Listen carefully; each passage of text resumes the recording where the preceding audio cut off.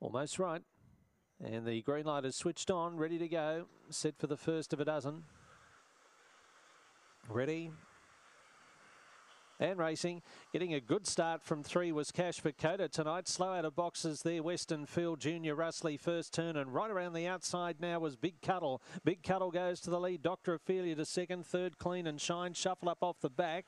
Back to fourth Junior Russley with Western Field. Also Cash for Coda. Uh, well back Little Elfie Rio Boris turning and off the track here. Clean and Shine after Dr. Ophelia. But Dr. Ophelia with a good kick to win over Clean and Shine.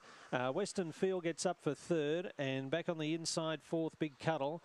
Further back in the race then was Cash for Coda, also Junior Russley. Well back in the race too was Little Elfie and Rio Boris the inside. The time is around 25.46.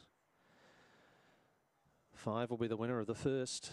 Dr. Ophelia, the uh, McMahon Kennel strikes early again tonight. Three ten and two dollars. Six clean and shine about six seventy. Two Western Field at around $8, but we'll check to see if those uh, totes hold up on the first.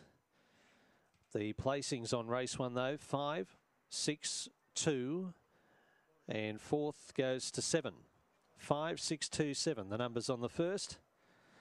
And Dr. Ophelia had only had the one previous start. That was when it was fourth.